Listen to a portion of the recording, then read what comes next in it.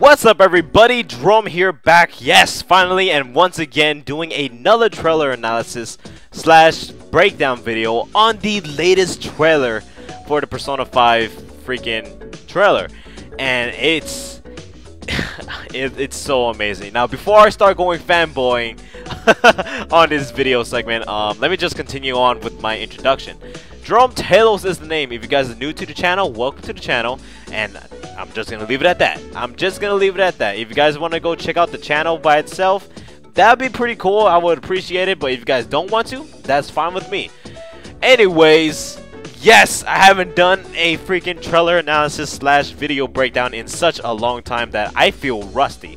So just a fair warning, I might stutter a lot during this freaking uh, breakdown analysis. So, without further ado, let's just get started with this damn thing, shall we? So, in the first couple of seconds, we see nothing special going on. Nothing special going on. It's just a helicopter flying in the distance. Next thing you know, we get a scene where it's almost like a party, but then on the next scene that happens after that, it turns out to be a casino. And then things get interesting after that because we see men in black. Now, we do not know if these are actual government officials in the game or these are just security forces in the casino itself. Whatever the case is, they're looking for somebody. They're looking for somebody, and they're about to beat that dude's ass. oh my god. And then the next thing you see is just your character, not your character, the main protagonist, flying across the screen. Eh, alright. Next thing you know, he jumps out the window. What the hell is going on? So after uh, seeing all that, I came to two conclusions. Either one, they are thieves, or two, they are just a pack of vigilantes. And basically, the pack of vigilantes things was correct. I was actually right about that, thank God. Uh, that's pretty cool to, that's pretty cool though, sorry, to think that they are vigilantes. Uh, the story behind them is that they are basically being attacked by an unknown force. And what they're doing is, you know, right for their eyes, but at the same time, for the general public, they see them as, you know, like as a menace. So that's actually pretty interesting to for them to be treated as like such criminals. It's pretty damn cool. Oh yeah. Remember the Persona 5 teaser trailer with the uh, the five chairs with the ball and chain at the end of them?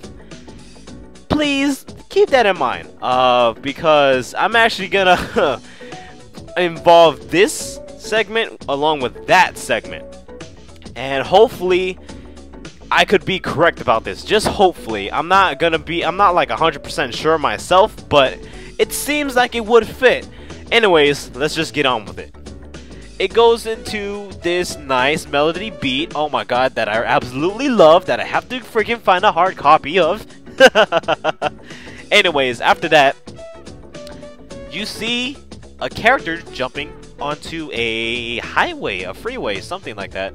He's jumping onto a freeway, freeway, but look carefully. I want you guys to look extremely carefully because when he's jumping, he has like three flaps at the end of his trench coat. Keep that in mind because I'm assuming that this dude is the main character right there but the main character appears later within this part of this this part of the uh, the trailer. But again, uh, it, it has to be the main character. It has to be. So that's one chair filled. Now fast forward it to the next scene or the next uh, character, and it's the female. Uh, she's also wearing a mask, and she's look like she's actually wearing a cat suit. Don't know why a cat suit. Uh, maybe within this game, the males don't wear the like some kind of animal outfit, but I, I highly doubt that's the case. But she's wearing a cat suit. I don't know why. I don't know why. And she's wearing a mask. She's part of the vigilantes. It's pretty damn cool. So that's two chairs filled. Three, this dude who I do not know. And I'm pretty sure a lot of people who don't know who the hell this guy is either. Yes, prepare for a lot of stuttering in this damn segment, alright? I'm, I'm tired. But anyways, yes. This guy or woman is the third character to fill in the chairs in the P5 teaser trailer. I'm just putting things together, man. I'm just putting things together. And we really don't know who this guy is or woman is because he or she doesn't appear within the rest of the trailer. So, what the hell? And this is the fourth. Now, he appears in the trailer. He's the uh, blonde character. Or, not blonde character, but the, yeah. Yeah, he's a blonde-haired dude who's apparently, like, friends with the main protagonist. So that's four chairs filled already. Four chairs. And then here comes the main protagonist. Boom and then he's gonna strike a pose. Now, if you go frame by frame when he lands, he also has three, not yeah, he has three flaps at the end of his trench coat. That's why I said the first dude has to be the main protagonist because the flaps at the end of his trench coat matches the freaking flaps on this dude's trench coat. So, it to me that has that's still four chairs um, filled. The fifth chair that I am assuming has to be the uh, the cat. Uh, if you guys watch the trailer, you guys would know I'm talking who I'm talking about. But the cat. It sounds absurd, but it's just it's just a high. It's not a high probability, but it could be a possibility. Anyways, yes, the main character lands on a train, he's striking a pose, and he takes off his mask. Now, here's another interesting part that happens. Two Velvet Room attendees. Holy hell. At the same time, I was not expecting this one and they are childlike, but I highly doubt they are immature. They're probably like super mature, probably more mature than freaking Margaret, but holy hell, man. They are actual twins. This is not a mirrored image. Uh, the left one has the hairstyle of a ponytail, while the right one has the hairstyle of like two buns, like Chun-Li status. And they are both females and they're again they're like childlike man. They're childlike. Oh my god. And then you see Igor just sitting there being all creepy and shit. But let's let's rewind that back baby. Let's rewind that back. So even when you're introducing or just seeing the the new elevator attendees elevator attendees really Jerome the new velvet room attendees. You see them behind bars and you go frame by frame and you before before Igor appears. And within his surrounding, it looks like the Velvet Room has changed into a freaking prison holding cell. It's so it's really bizarre because back in Persona 3 it was the beautiful elevator elevator. Damn, I cannot speak right. And then in Persona 4 it was the luxurious freaking um, limousine. And now it looks like he's in some kind of prison holding cell. Maybe this is not the official Velvet Room, but I'm assuming it is because Igor's literally just sitting there. He's literally just sitting there. It's like Igor's downfall. He did something so horrendous that he just went to hell. so yeah. And then next scene, it's not next scene is not too fancy. It's just a dude that falls and he turns into like this bird demon entity that has horns and it looks like he's actually wearing a top hat. But uh, if you go frame by frame, and not even frame by frame, you can see it when it plays at its natural speed. He whips out a chain. A chain. So hopefully, this is what I'm thinking. Hopefully it could actually be in par with the you are a slave, do you want emancipation? Hopefully it could be similar in that kind of way. If it's not, and it's just his weapon being shown off, then whatever. whatever. And then there is the beautiful Persona 5 so basic logo showing. And this is the part where I just smiled so damn hard. Uh, the actual gameplay footage. Now, if you guys followed me on Twitter, I told you guys this, man. I tweeted this out so many times. I'm not gonna fall in love with this game. Or not even be hyped for this game until I freaking see actual gameplay of it. And they freaking delivered. I I am so happy to see the level of progression that this game is at right now.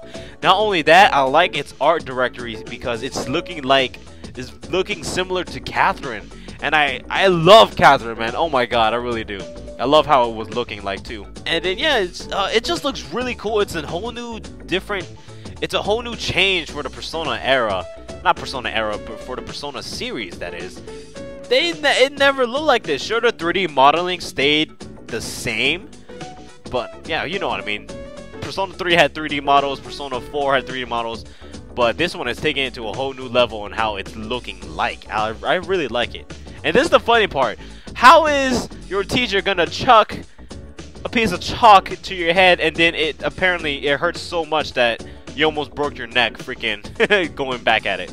So in this scene, I assume right away that they are uh, in high school. They well, yeah, even on the site it said it themselves. They are in high school, which I'm actually kind of disappointed. Uh, I wanted them to be in college. I, I just I just wanted them to be in college, man. I don't have a problem with playing like high school students in games. The problem is, it's being overused so many times that I just want something new. I just want something new. Let them be in college. Let them have a different scenario in life. That would be kind of crazy and awesome at the same time. But no, no. It's let's just let's just take it back to high school. Everybody love high schoolers. Eh, whatever. So after that scene, you just see uh, you and your friends just hanging it out. The the blonde haired dude, you got the main protagonist, you got the female, and then you got the creepy ass looking ass cat. Holy hell, it looks scary as hell. And I'm not gonna lie, I do like how the female look. She looks, she actually looks pretty cool. I like it. I like it. And this is the scene that caught that caught my attention so hard. Like, oh my god, they're actually in college. They're not in high school anymore. They're in a bar. No, it no, they're not in a bar, sadly. Uh, well, not sadly. They're just chilling, and it looks like it's some kind of coffee shop. There's Coca-Cola branding. just whatever. But uh, yeah, this is this scene made me think that they were in uh, college, but sadly they're they're not. It's whatever. And this cat thing right here, you see it? That's what your cat actually transforms into. What the hell is it? Hopefully it's not gonna act like Teddie. Um, Teddie, like every time a game happens in a in a uh, franchise, it has to be something different. Like, okay, Teddie's personality was a one-time thing. It was like he was corny as shit. He was annoying to me at least, and uh, uh, it, it's whatever.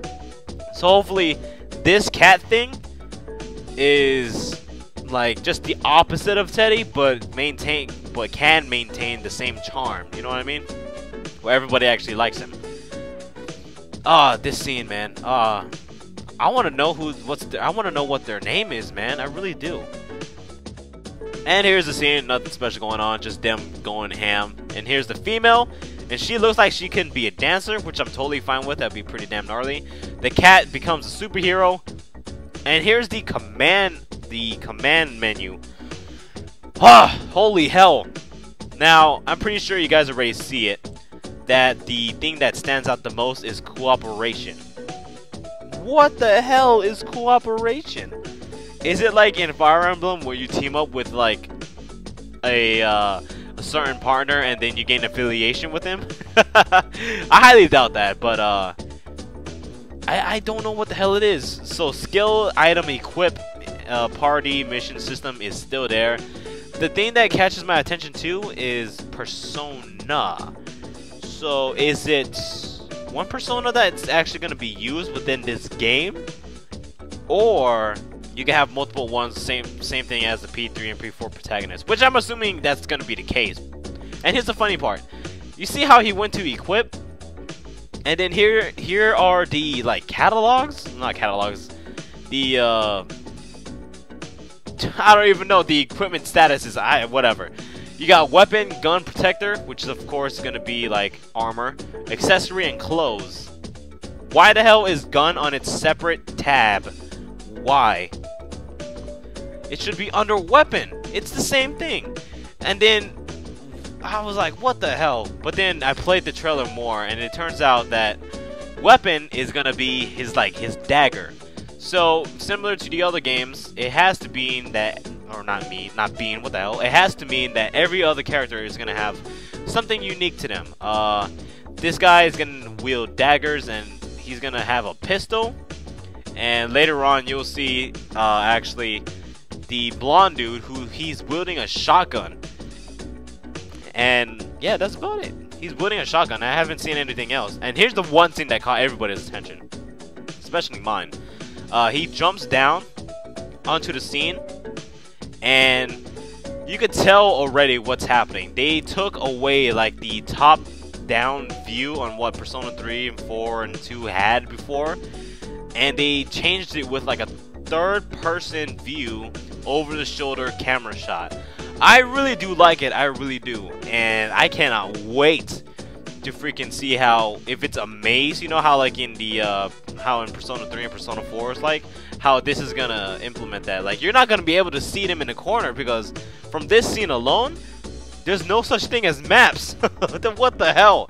So we'll see. Oh, let me crack my back. We'll see what's gonna happen. Uh, you get to see some enemies. You get to see a golden knight and some silver looking knights. I'm assuming these are shadows, most likely. And here's another scene where he's actually jumping from chandelier to chandelier. Now, from what from what I seen after this, I was like, there that means there has to be two ways to approach your enemy. Uh, one is the head-on collision one without any regrets at all, and two is the stealthy approach where you could just avoid your enemy at all costs. If that's the case, then damn, there's gonna be some stealth segments in this damn game. There's gonna be there's gonna have to be uh, some fights that you just cannot win. You gotta just make your move around them. But that's my that's my theory.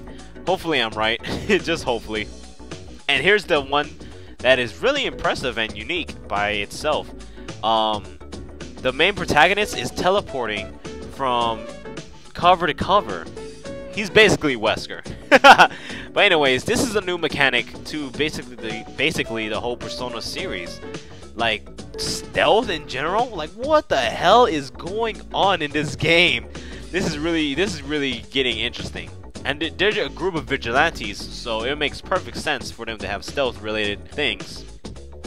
But like how's he gonna approach the enemy if he's stealthy? If he's being in stealth, can he jump scare the enemy and the enemy will run away? Or can he completely bypass the enemy without alerting them at all? We don't know. Hopefully one of those cases can be true. Especially the one being scared shitless. but anyways, uh, let's just continue on after that. Uh, we get to see a slight um, name actually when uh, your, the main protagonist is in, in the clinic. Uh, the name that pops up is Takemi Takemi Tae. Takemi Tae. I think I'm saying that wrong. But uh, that's actually pretty unique to see the names of like the, I guess you could say the people you buy stuff on. That's pretty. That's pretty cool. I like it. That's definitely a woman too. Them legs. Anyways, here's your new waifu. She's gonna replace Chie, Naoto, Rise, and Yukiko, all those kind of people. But uh, yeah, that's about it for that scene. And then they're running away in something. Now, hopefully, this can be like some kind of a dungeon because normally dungeons do not crumble. Normally they do not. So it'll be unique to see what the hell is going on. Or maybe this is actually a freaking house that is freaking crumbling before their eyes. That'd be that's unique. That'd be pretty damn cool to be honest. And they have to escape with their lives. Hell yeah, I'm totally down with that. Another store, just weapon store, and then here's the one thing that caught my attention completely The two elevator attendants. Elevator attendants, ah, I keep saying it. The two Velvet Room attendants, the new ones, are guarding the main protagonist's cell. And he's behind bars. What is this? Is is he going insane? Is this part of the game's story? Like, what is going on? He looks insane. Oh, oh sorry about that. Yeah, but uh, when you play it, he looks insane. Like, he's shaking the bars and shit. His eyes looks like it's just lopsided in hell. And here, we get to see some actual action. Some fighting action. So, you got the P5 protagonist who actually wields the pistol. And like I said, when you in this scene, you will see the, the blonde-haired character guy wielding a shotgun. And then you get to see the cat wielding a slingshot. But it doesn't seem to show that the female character in the background is not wielding any mid to close range weapons at all. It's pretty interesting. So that means maybe that she's limited, like she can't um, have weapons like that. That'd be kind of weird. But anyways, uh, with that going on, we get to finally see their all-out attack. It's pretty okay. I like it they they literally go into a phantom dance and kill their enemies. It's pretty legit. Pretty legit. Oh yeah, I'm not sure if you guys noticed too. The damn enemies that they were killing were Sandmans and a Pyrojack. Or not Pyro Jack. What the fuck? Jack-o'-lantern. What is going on? Why are they attacking them? Why? Who knows? But, uh... Oh man, that's literally, literally about it for the uh, the trailer. Despite the uh, the ending, let's just fast forward to the ending right now. Brought to you by Atlus, or presented by Atlus. So within this ending, what the hell is going on? It looks like his mask is made out of freaking blood. That's that's my impression that came off first. Like it's a blood mask. It's a it's a blood masquerade mask, and his eyes turned yellow, like a like a Izanagi's eyes. Next thing you know, it dissolves. What the hell? And then a, a blue flame comes out comes out of nowhere, and his mask literally completely is just vanished. And here's the interesting part. He, the mask gets replaced by like this blue butterfly looking masquerade mask. It looks very similar to Margaret's mask in uh, Persona 4 Ultimax. But guess who popped in my mind when I first saw this? The guy from Persona 2. I think his name was uh, Philemon or something like that. That's the character that popped in my mind. And I was like, oh my god, they have to be connected some way and somehow. And I, I highly doubt that's the case, but it'd be pretty interesting if he made his return. And like for a short amount of time either way, but it'll be pretty interesting for him to make his return. So yeah.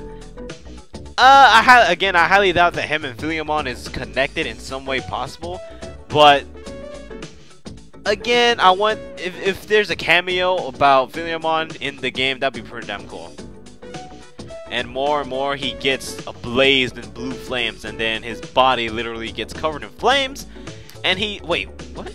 Hold on.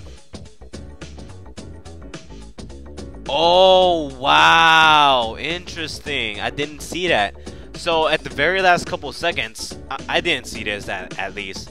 Um his hands being covered in flames and it, it turns into like fire claws. That's pretty damn cool. That is pretty legit. I like that I really do. Persona 5, and that's about it. Now, in the trailer, of course, you don't see his persona at all, but thank you to, like, basically the internet, um, we get to see a, a, a, persona, I'm assuming, a new persona that appears right behind uh, the main protagonist's back in this picture right here. I gotta remember to put that picture there. And it looks very, very interesting. I really, really do like it. Um, the thing that catches my attention the most is that it looks extremely evil. Extremely evil. So, Jesus Christ. I want. I just want to see what the hell this thing's name is. that is gonna be awesome as hell. But that ends it for my trailer analysis slash breakdown. I hope you guys have enjoyed. Um, what do you guys think about this trailer in general? Did you guys like it? Did it hype you up to freaking actually buy the game now? Or what? I'm not gonna lie. Again, I was not hyped for Persona for blah blah blah blah. I cannot speak. I was not hyped for Persona 5 at all. Like I knew about it, I love Persona series, but I wasn't hyped for it at all because I didn't see anything on it just yet. Until today when they showed the freaking gameplay footage that I cannot get out of my head. It's just so amazing to watch it, man. It's so amazing to see how much progression it is. Or not, what? It's good to see how much of progression it has made to this day. There it is. It looks really good.